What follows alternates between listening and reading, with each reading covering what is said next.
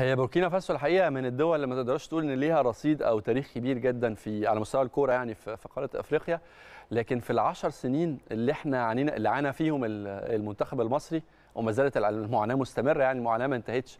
في ال 10 12 سنة اللي عانى فيهم المنتخب المصري على مستوى ال- البطولات الأفريقية كتير ما بنتأهلش وكتير بنخرج بدري بدري وحتى البطولة لما كانت على أرضنا برضو صيفنا بدري بدري.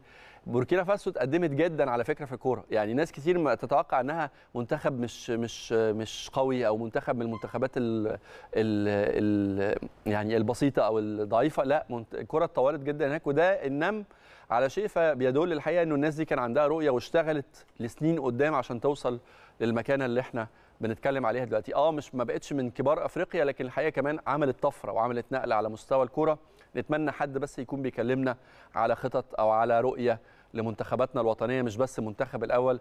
أربع خمس سنين قدام. أنا مش عايز أقول لكم 10 سنين نبتدي بس بأربع خمس سنين قدام ونشوف بعد كده يحلها ألف حلال. والكلام بقى بما إنه الكلام جابنا عن منتخبنا يبقى لازم نتكلم على ماتش غينيا بيساو وعلى مستوى المنتخب الوطني وعلى أحاسيس ومشاعر المصريين وهم بيتفرجوا على المباراة وخصوصا طبعا في اللحظة اللي دخل فيها الهدف اللي لغاه الفار. الحقيقة يمكن يعني أنا كنت بقول دايما طول عمرنا منتخب مصر دايما والكرة في مصر دايما مصدر سعادة لل- للمصريين.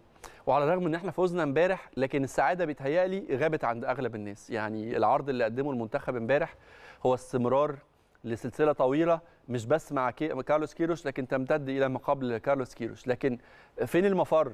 التغيير هيحصل إزاي؟ هنطلع ونوصل كأس العالم ولا مش هنوصل؟ كلها أسئلة ملهاش إجابات لغاية دلوقتي وأتمنى إنه عند ضيفي كابتن أحمد صديق يكون عنده إجابة على الأسئلة دي. مساء الخير يا كابتن أحمد. خير يا صح منور الدنيا. ربنا يخليك. أخبارك إيه؟ كويس؟ الحمد لله كله تمام. طب الحمد لله. هبتدي معاك من ماتش امبارح. الأول احكي لي كده يعني ال- ال- الانطباع العام بعد ما خلص انت عارف في ماتشات بتخلص المنتخب الناس بت... لدرجة يعني درجة سعادتها إنها بتنزل الشوارع وبتحتفل. و...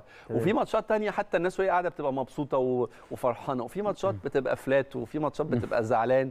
حالتك كانت إيه وأنت بتتابع ماتش مصر وغينيا بيساو امبارح؟ لا يمكن إحنا زي ما أنت بتقول يمكن بقالنا كتير ما عشناش أجواء إن الناس تبقى مبسوطة لدرجة إنه ينزلوا الشارع والكلام آه. ده يعني. بقالنا فترة طويلة يمكن يمكن آخر حاجة كانت تقريبا صعودنا كأس العالم. أيوه ده يمكن المباراة الوحيدة اللي حسيت فيها إن آه، المنتخب آه. آه آه، فرح لكن الناس. بالنسبة لمباراة امبارح طبعا آه، أفضل ما فيها هو المكسب بس الفوز يعني آه. ده أفضل ما فيها آه، غير كده لا يعني غير كده طبعا لسه عندنا عندنا مشاكل موجودة في الملعب عندنا مشاكل فنية موجودة آه، يمكن كل حتى الكلام اللي بيتقال بعد المباراة إن أفضل حاجة إن إحنا عدينا مرحلة الضغط اللي كنا موجودين فيها المنتخب كان موجود فيها كجهاز فني وكلعيبه بعد مباراة نيجيريا والخسارة.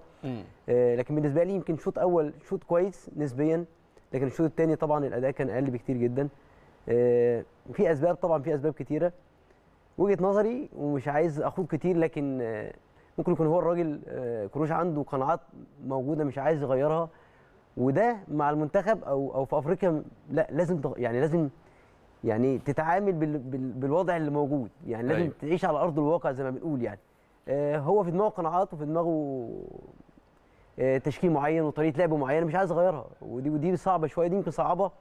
يعني أنت امبارح ما بتتكلم طب أنت لعبت عبد الله السعيد امبارح؟ عشان المفروض تلعب 4 2 3 1 مم. لكن أنت لعبت عبد الله السعيد وبرضه بتلعب 4 3 3 ما عملتش حاجة.